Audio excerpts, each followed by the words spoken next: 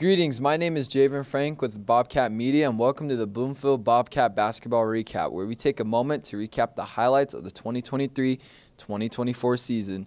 Without a doubt, both the girls and boys teams put up a commendable performance and qualified for the state tournament.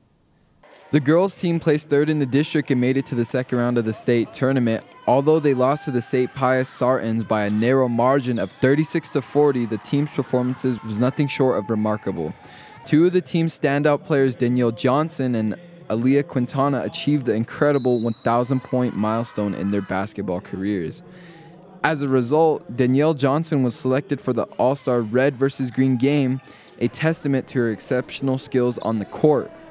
On the other hand, the boys basketball team emerged as the champions of the highly competitive 2024 4A District 1 title, making it to the first round of the state tournament.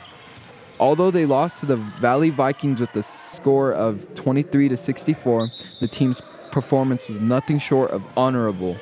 Andrew Flores, one of the team's all-star players, also achieved the Covenant 1,000 point milestone and was selected to participate in the All-Star Red versus Green game.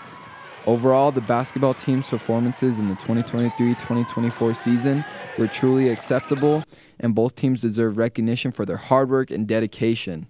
We can't wait to see what the future holds for the Bloomfield basketball team, and we wish them all the best for the upcoming season.